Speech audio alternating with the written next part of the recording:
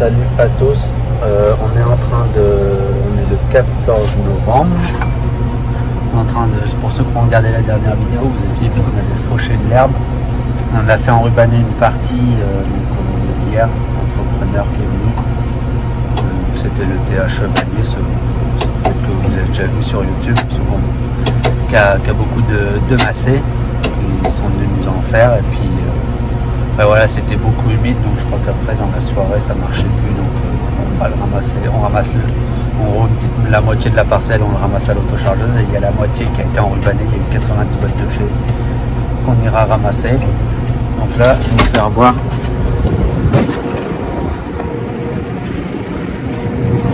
Vous le voyez, c'est vert et c'est très très humide. C'est très très humide, vous le voyez. Je pense que si si je les sors même avec ma main, déjà rien qu'à prendre une poignée, j'ai du verre sous la main. Et euh, ça fermé. Et euh, du coup, bon voilà, là on le met dans un tas sur le bord d'un silo parce que c'est pas toujours facile de, trouver de la place pour le mettre. Et après on va le bâcher du coup pour les génisses. Et le reste de l'enrubanage, on va l'emmener à un autre bâtiment où on a une, vingt- une trentaine de, de génisses et de, vaches qui sont taries, qui sont pleines. Donc ça, on emmènera ça là-bas et ça, on le garde pour euh, alimenter les génisses qui, vont être ici. Donc en termes de bouffe, là, pour cette année, on va largement, largement avoir ce qu'il faut. Voilà. Donc voilà, on fait ça ce matin. Il y a je sais pas combien de machines à ramasser là. Il est à côté en train de le faire.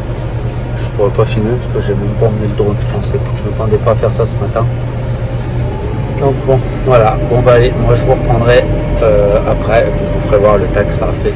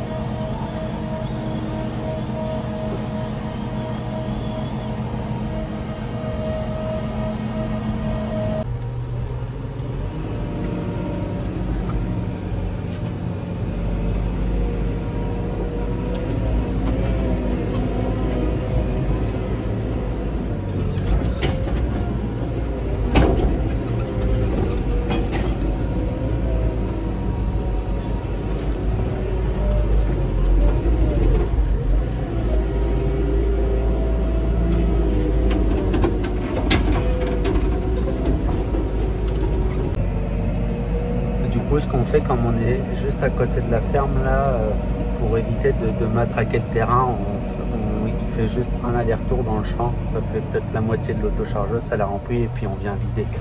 Parce que bah, les terrains sont, ça va pas plu beaucoup, mais bon, c'est quand même humide quoi. Donc euh, le but c'est d'essayer de pas trop matraquer le terrain pour éviter de, de matraquer la culture euh, qui est en place, pour essayer qu'elle reparte bien.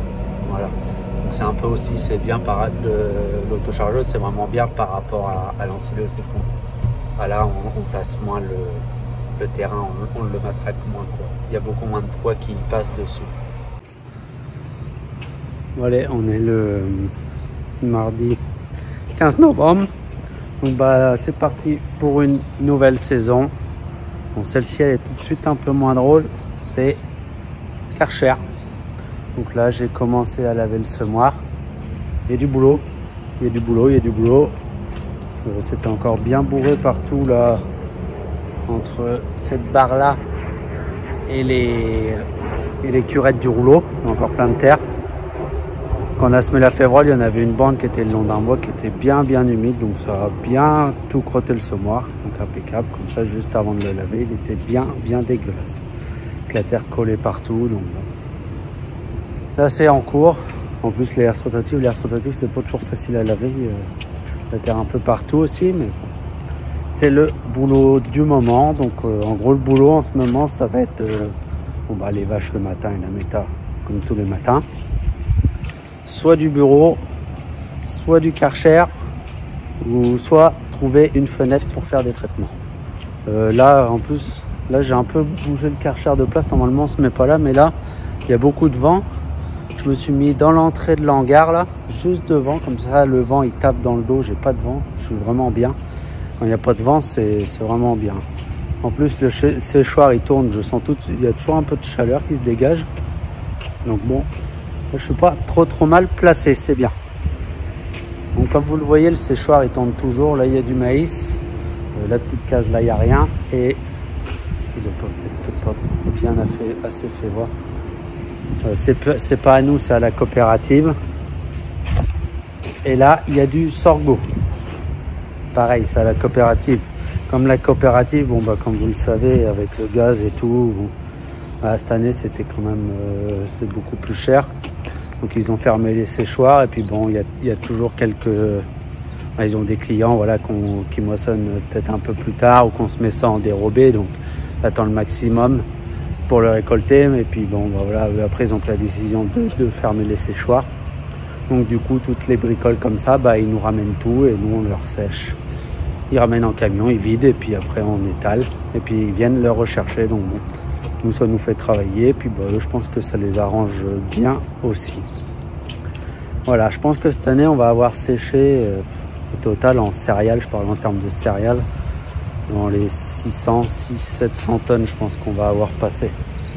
Nous, on va avoir fait 350 tonnes de maïs, euh, plus la tournesol et après tout ce qu'on a séché à la COP et puis euh, un petit peu pour des collègues aussi.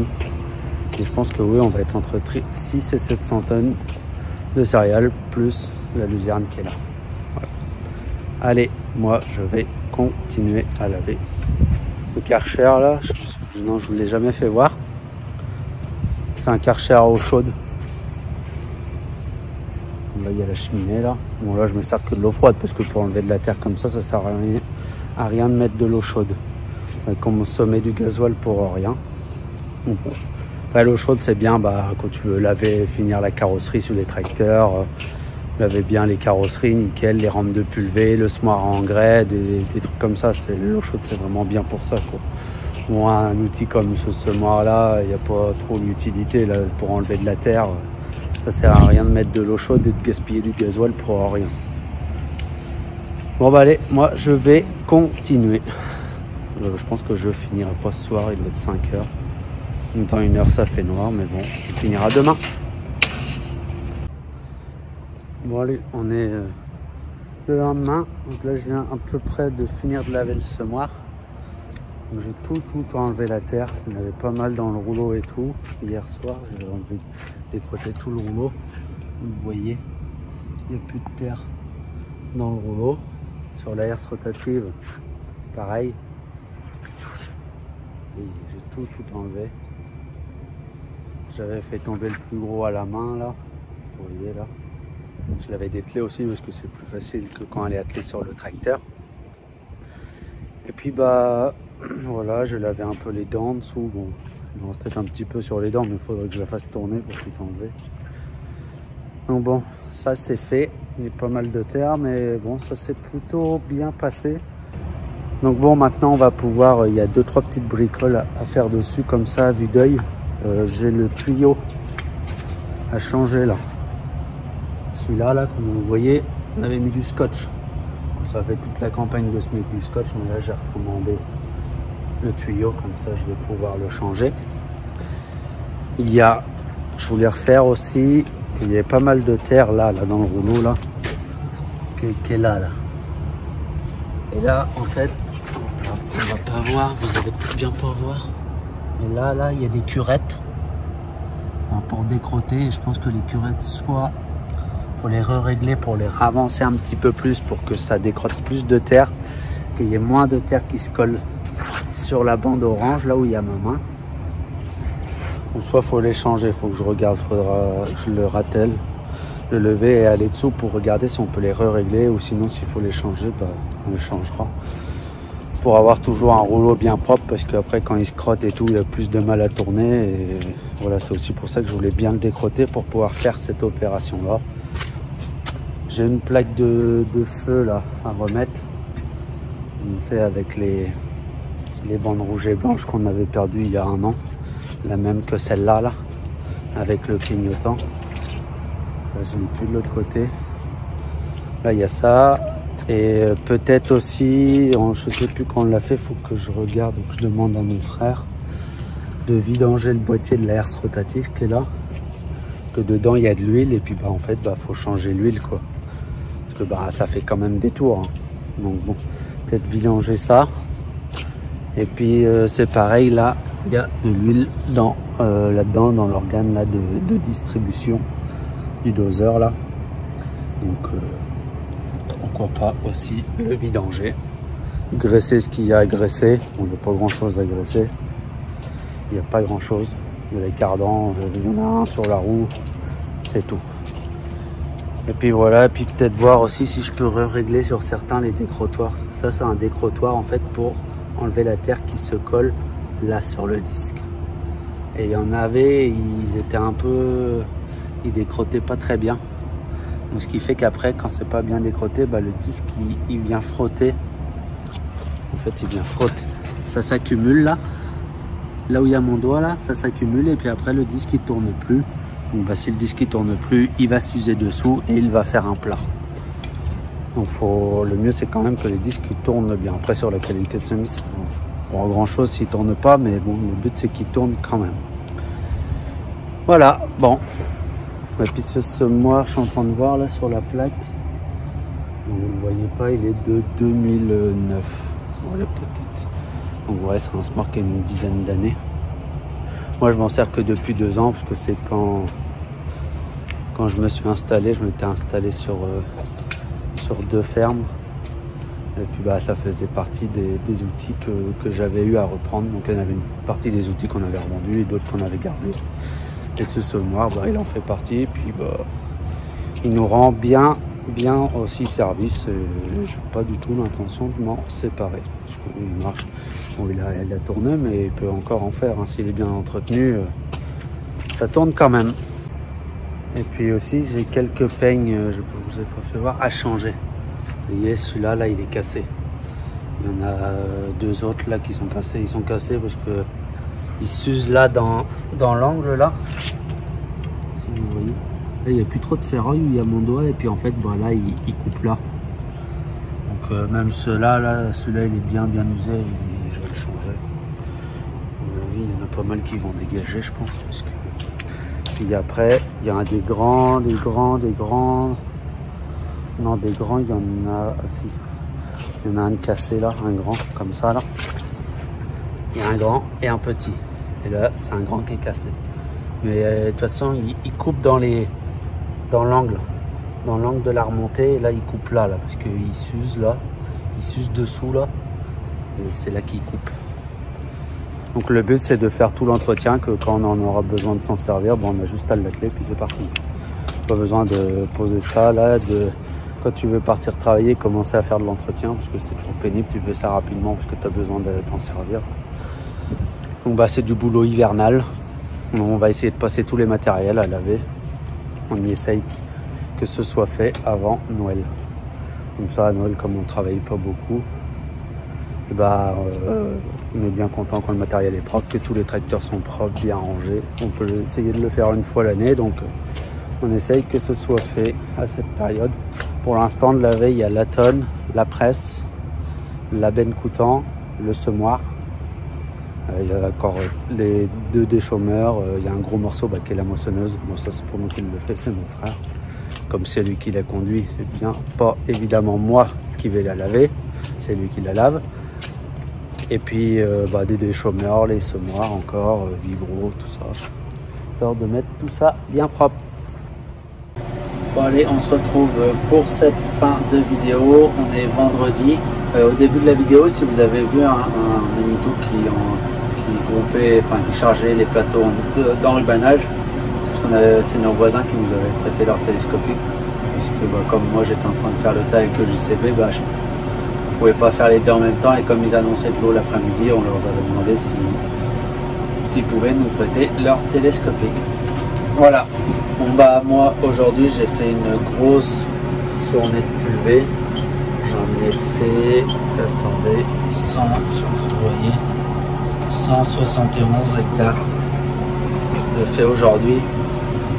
Une grosse journée, j'ai commencé à 10h, là je crois il est, 9h du soir. Mon père m'a remplacé à midi. Euh, on, a, fait pas mal parce qu'en fenêtre de tir, on a que aujourd'hui et demain. Toute la semaine, ça a fait du vent ou ça a tombé de l'eau. Et semaine prochaine, ils annoncent pareil. Et avant, je pouvais pas traiter parce que mon blé n'était pas spécialement au stade. Et euh, là, on était au stade. Et puis, vu la semaine prochaine, bah, pas du tout terrible qu'ils annoncent, euh, on voulait le faire. Alors, le problème, c'est qu'à des endroits, ça s'est plus ou moins bien passé. Il y a des endroits, ça a marqué un peu fort quand même. Ça fait un peu, chier, mais bon, je voulais quand même passer puisque je voulais quand même mettre l'insecticide pour les pucerons parce qu'il y en a quand même. Donc euh, ça, c'est un truc que je veux pas faire l'impasse parce que le, les, comment dire, les, les impacts derrière peuvent être tellement énormes en termes d'économie. Enfin, ça, si tu as 200 ou 250 hectares de blé qui sont virosés, enfin, ça peut être euh, en gros, c'est la santé économique de l'exploitation qui est en jeu. Donc euh, là, je voulais vraiment pas faire cette impasse. Après, euh, ça n'a pas fait des grosses ornières, mais ça, a marqué fort à quelques endroits, pas partout. Mais voilà, bon, des fois, il faut faire des compromis. Là, c'en était un. c'était pas facile. Le pulvé, en plus, il se tenait pas, ça glissait. Enfin, c'était un peu des fois euh, un peu pénible, mais bon. Je voulais le faire quand même. Donc ça c'est fait, il en reste 60 hectares demain que mon père va faire, parce que moi c'est moi qui fais la traite ce week-end, donc je pourrais pas le faire. C'est mon père qui, va s'en occuper demain. Et euh, quasiment tout sera... Euh, quasiment tous les blés auront été, été passés à, l'insecticide au moins une fois, donc c'est vraiment... C'est bien, voilà, c'est bien, fallait le faire. Voilà. Puis ben, moi du coup comme je fais le week-end, demain je vais en profiter pour vous faire la vidéo sur, euh, sur la traite, comme ça je vous ferai une vidéo euh, sur mon samedi soir sur la traite, de comment ça se passe, de comment ça marche. Et puis voilà, je vais en profiter pour faire ça. Et ben, moi je vous souhaite à tous une bonne semaine et à la prochaine pour une nouvelle vidéo.